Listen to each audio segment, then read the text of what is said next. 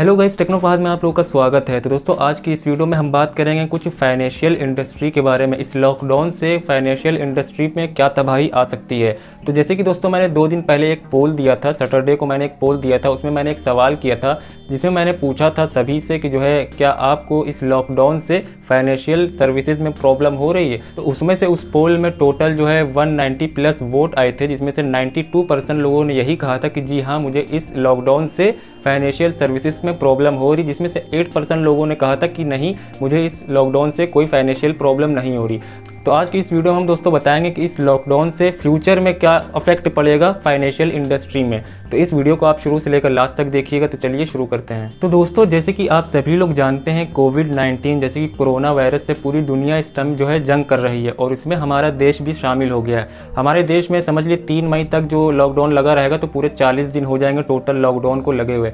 अब इस चालीस दिन में हमारे इकोनॉमी पर क्या इफ़ेक्ट पड़ेगा, जो हमारी फाइनेंशियल इंडस्ट्री है, इन पर तो बहुत बुरा असर पड़ने वाला है, और फ्यूचर में भी काफ़ी टाइम इनको लग जाएगा अपने स्टैंड पर खड़े होने में। तो हम बात कर लेते हैं फाइनेंशियल इंडस्ट्री में क्या तबाही आएगी, इस लॉकडाउन को हटने के बाद भी।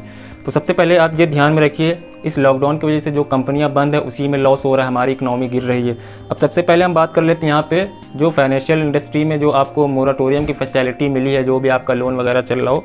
अब इसमें जो मोराटोरियम की फैसिलिटी आपको मिली है, इकतीस मई तक हो सकता हो, इसको आगे बढ़ा भी सकते हैं, क्योंकि अगर लॉकडाउन आगे बढ़ेगा तो हो सकता है इसको बढ़ाया जाए।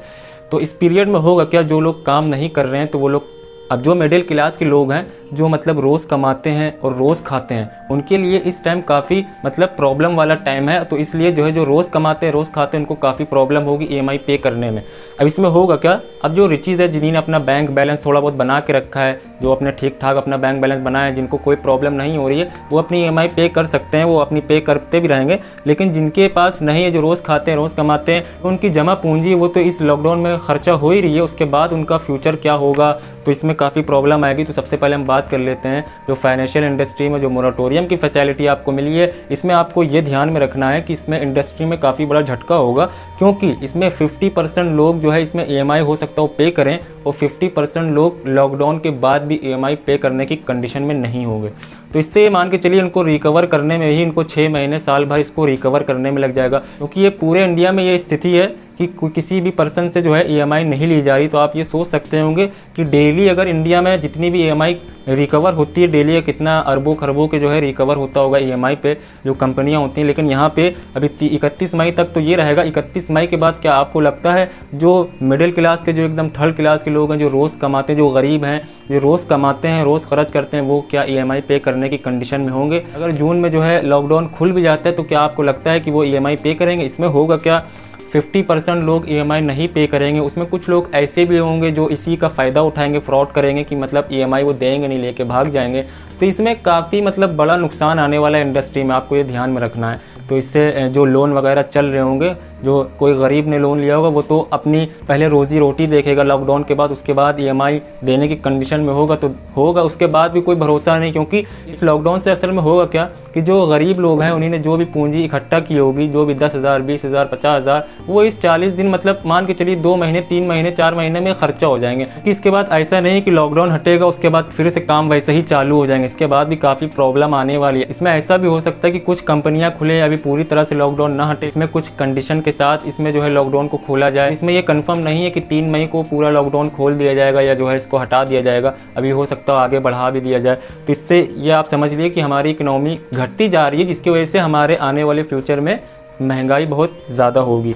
उससे भी काफ़ी लोगों को प्रॉब्लम होगी तो इस चीज़ का भी ध्यान रखिएगा। अब इस पीरियड में होगा क्या? सबसे पहली चीज़ आपको ये ध्यान में रखना है कि इस लॉकडाउन के टाइम अगर आप कोई भी पर्सनल लोन क्रेडिट कार्ड, कुछ भी, किसी भी तरह का लोन या क्रेडिट कार्ड अप्लाई करेंगे तो आपका यहाँ पे रिजेक्ट होगा, क्योंकि यहाँ पे कोई इस टाइम पे वर्क वगैरह हो नहीं रहा है तो इसलिए सब जितने भी लोन है या क्रेडिट कार्ड है, इन सबकी एप्लीकेशन अभी रोक दी गई है। अब क्यों रोक दी गई? इसकी वजह आप जानते हैं ऑनलाइन चाहें तो आप अप्लाई कर सकते हैं, लेकिन ऑनलाइन भी आपका यहाँ पे हो जाएगा रिजेक्ट इसमें क्या प्रॉब्लम है? किस वजह से इसको रोका गया है?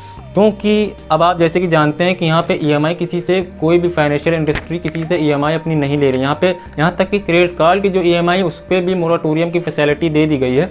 तो उससे होगा क्या? अब आप ये सोचिए डेली फाइनेंशियल इंडस्ट्री में पूरे इंडिया में कितनी डेली रिकवर की जाती होगी ईएमआई तो उसके आप ये देख सकते हैं कि इसमें काफ़ी बड़ा नुकसान हो रहा है और इसमें अभी ये कोई पक्का भी नहीं है कि लॉकडाउन के बाद हंड्रेड परसेंट लोग ईएमआई नहीं देंगे। इसमें आप ये चलिए फिफ्टी या सिक्सटी फिफ्टी से सिक्सटी परसेंट लोग कहो दें या कहो जिनके हालात अच्छे होंगे वही ईएमआई पे करेंगे जिनके हालात अच्छे नहीं होंगे वो ईएमआई पे नहीं करेंगे चाहे वो बाउंसिंग लगे। फिर क्योंकि उनको अपनी रोज़ी रोटी देखना है उनको ये नहीं देखना है सिविल कहाँ जा रहा है क्या जा रहा है बाउंसिंग लगेगी बाउंसिंग लग जाए अगर वो देने की कंडीशन में नहीं होंगे तो वो नहीं देंगे। ये सब इफ़ेक्ट पड़ेगा किस पे? फाइनेंशियल इंडस्ट्री पे। ये सब बैंकों को और ये जितनी भी कंपनियाँ इन, इनको ये सब झेलना पड़ेगा। तो यहाँ क्योंकि ये सब अनसिक्योर लोन होते हैं और यहाँ पे जो माहौल चल रहा है इसको देखते हुए यहाँ पे कोई कुछ नहीं कर पाएगा। तो मारने वाले मार ले जाएँगे, जो नहीं दे पाते हैं वो नहीं देंगे, उससे कुछ नहीं होगा। तो ये सब की वजह से इनको काफ़ी बड़ा लॉस होगा। तो इसकी वजह से ये लोग नया लोन वगैरह अभी देने में रिजेक्ट करेंगे, नया लोन हो, कोई भी क्रेडिट कार्ड आप अप्लाई करेंगे। ऐसा नहीं कि लॉकडाउन तक ये बंद रहेगा। लॉकडाउन के बाद भी कहिए छः महीने, साल भर तक आपके कार्ड जो है सौ में नाइन्टी आपके एप्लीकेशन रिजेक्ट हो। क्योंकि यहाँ पर इनको अभी ये चालीस दिन का भी तो लॉकडाउन चल, हो जाएगा तीन तीन मई तक ही, चालीस दिन का टोटल लॉकडाउन हो जाएगा। अगर इसकी डेट बढ़ती है तो इससे काफ़ी और ज़्यादा इफ़ेक्ट पड़ता जाएगा तो आप ये मान के चलिए लगभग जो है छः महीने और साल भर लग जाएँगे इनको अपने स्टैंड पे खड़े होने में। मतलब जितना भी ये एक, दो महीने में इनका लॉस होगा, इसको रिकवर करने में इनको छः महीने से एक साल लग जाएगा। तो इसलिए आप ये सोच के चलिए, जब तक ये रिकवर अपने स्टैंड पे खड़े नहीं हो जाएँगे, जब तक ये लोग नया लोन देने में भी कतराएँगे तो इसलिए हो सकता हो आपकी एप्लीकेशन रिजेक्ट की जाए।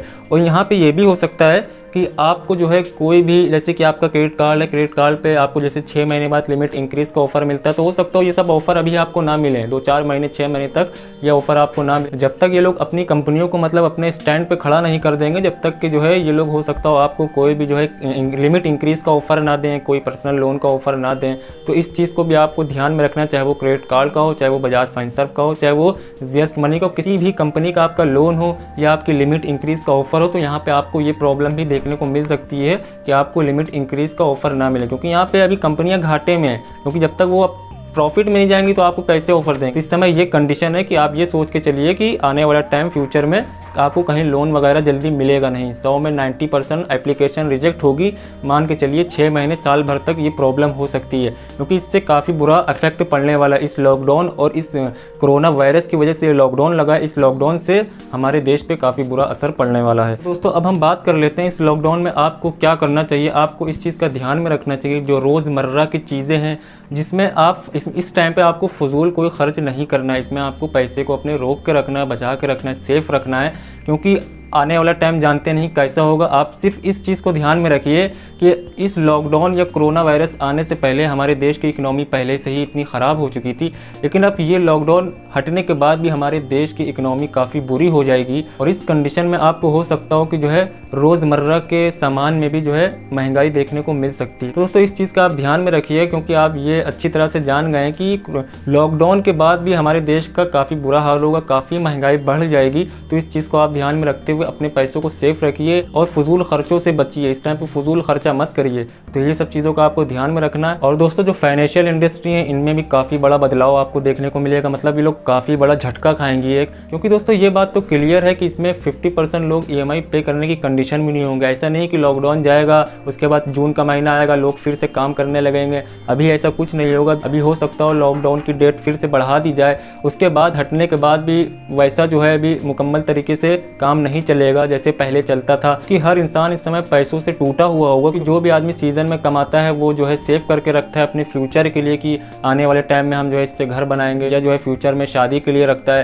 लेकिन यहाँ पे ऐसी कंडीशन में लोग उसी पैसे को यूज़ कर रहे हैं तो इससे काफ़ी लोग टूटे हुए होंगे। इसकी, इस कंडीशन में बिज़नेस ज़्यादा चलेगा नहीं। तो इसमें काफ़ी प्रॉब्लम आएगी। आपको थोड़ा ध्यान में रखना है कि फजूल खर्चा मत करें और ये सब चीज़ों का ध्यान में रखें। तो दोस्तों, ये थी कुछ बातें जो फाइनेंशियल इंडस्ट्री में काफ़ी बड़ा झटका। ऐसा नहीं है कि फाइनेंशियल इंडस्ट्री में ही ये प्रॉब्लम आएगी, ये प्रॉब्लम समझ ली पूरे इंडिया में आएगी और इसका, इस लॉकडाउन का और इस कोरोना वायरस का असर पूरा इंडिया देखेगा आने वाले टाइम तक। तो दोस्तों, मुझे उम्मीद आपको इस वीडियो से कुछ हेल्प मिली होगी। अगर हेल्प मिली हो तो इस वीडियो को लाइक करिए शेयर करिए। अगर आप चैनल पर नए तो चैनल को सब्सक्राइब करिए। तो नेक्स्ट वीडियो में फिर मिलते हैं। जब तक अपना ख्याल रखिए। Good bye take care